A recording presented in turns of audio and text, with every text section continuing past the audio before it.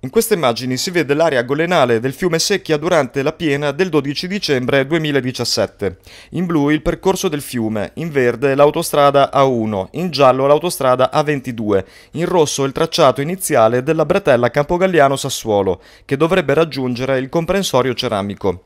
Allargando la visione d'insieme si può vedere che nella stessa zona ricadono anche i campi acquiferi di Marzaglia.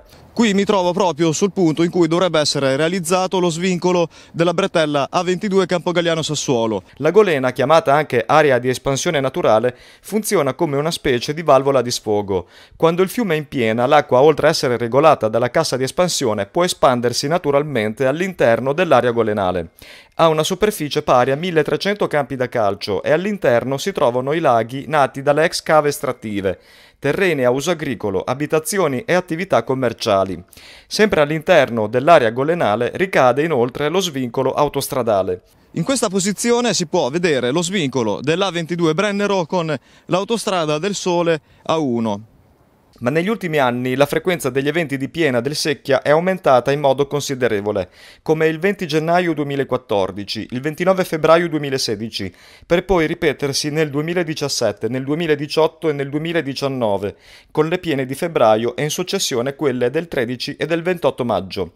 Io sono venuto ad abitare qua nell'87, non è mai bagnato il fiume, perché il fiume forse era pulito, era più l'alveo era più fondo e... Cioè, la situazione è aumentata nel corso degli ultimi anni? In, in questi anni qua è un disastro. L'anno scorso cinque volte, quest'anno due, insomma. Eh, qua in mezzo ai campi va bene, si riempie d'acqua, si riempie tutto.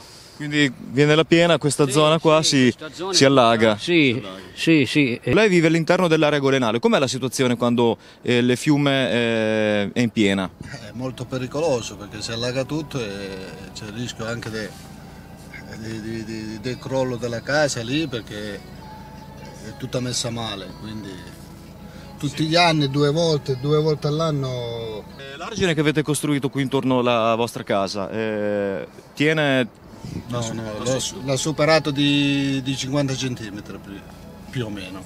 Che l'intera area sia un punto critico lo dimostrano due documenti. Nel 2018 l'Agenzia Interregionale per il fiume Po AIPO scrive un progetto di adeguamento strutturale e funzionale del sistema arginale del fiume Secchia, con lo scopo di adeguarlo alla piena con il tempo di ritorno di 20 anni. E su tale grandezza AIPO effettua elaborazioni idrologiche e idrauliche anche sull'area golenale una zona monitorata anche da una multinazionale di imballaggi alimentari con filiale a Modena Ovest, che nel 2014 commissiona all'Università di Parma uno studio con due simulazioni sugli effetti della piena del secchia nella fascia ovest della città.